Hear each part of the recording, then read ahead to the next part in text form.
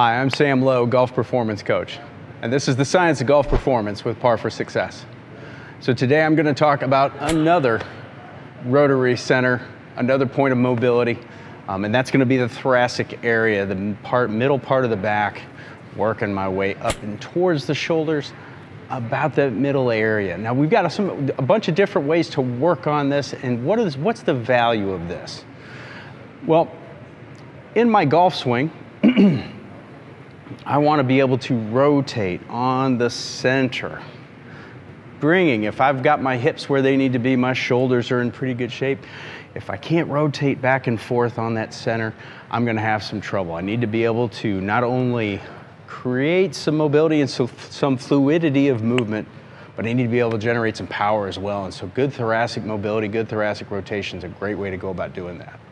So, what I'm going to show you today are three real simple ways to go about creating a little bit more mobility and range of motion in that area. These are all things that can be done uh, at home, in the office, maybe even on the golf course before you get started in your round. And they require little to no equipment across all three movements.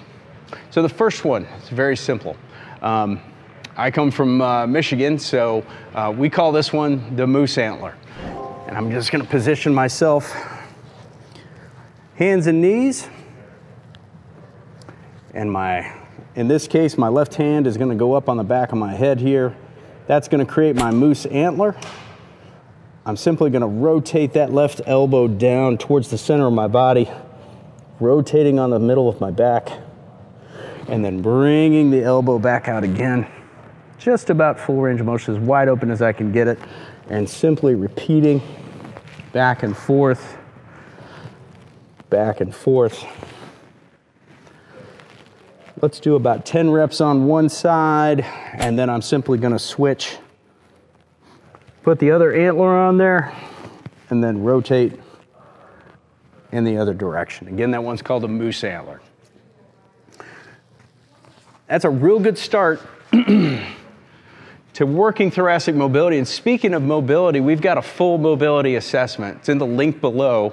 If you take a look at the description, it'll be right down there for you. It's a four part assessment. If it doesn't turn out quite the way that you hope it might, uh, feel free to give us a call here at Par for Success. We'll walk you through a strategy session and see if we can help you find some good ways to increase your golf swing, your swing distance, and play pain free. Back at this process here, we're gonna work into our next movement. Um, I'm gonna lie back here on the floor. All the way down. Feet are gonna spread out a little bit, and this one's called a rolling starfish. My arms are gonna go out. And I'm just gonna reach one arm up, my right one in this case, reach for the ceiling, and then I'm gonna rotate over to touch one hand to the other, right hand on top of left hand. Bring that same hand back and reach. Now, I'm gonna reach with the left hand and you'll see I'm trying real hard to keep my hips back here in contact with the ground as I rotate. And that's really the secret to this movement is keeping the hips in contact with the ground as I rotate back and forth. Breathing your way through this exercise too while you're at it. So breath in, blow it out as I bring the other hand out. Just regulate your breathing, take your time, easing your way through this movement. And again, this one is called the rolling starfish. Back and forth. I got one more for you here. This one's going to involve this foam roller here. Now, I say equipment oriented. Foam roller works. Um, we can use a pillow at home. we can use a, um, even our golf bag if I happen to be on the golf course.